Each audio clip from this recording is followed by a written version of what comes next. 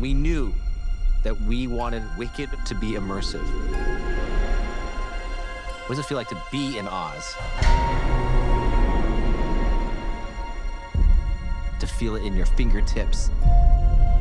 If you want to be inside that world, you gotta build it.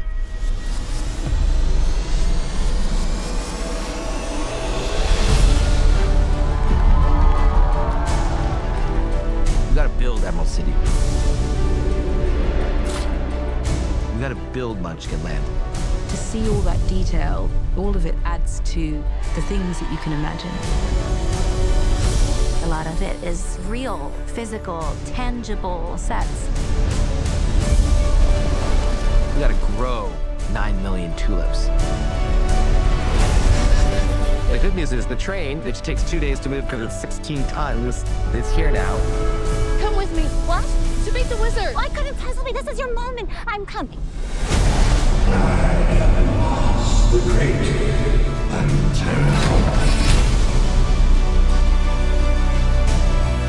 Once you learn to harness your emotions, the sky's the limit. This forest is enormous, but it's all in the details. all of this didn't just take production design, it took special effects, took visual effects.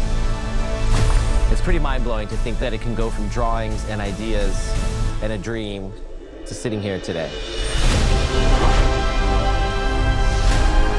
It's wonderful to be able to touch the space. And create this world in a way we've never seen it before.